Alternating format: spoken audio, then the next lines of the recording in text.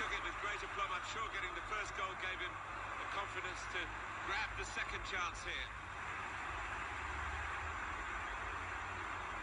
Well, I want to see this again, this goal.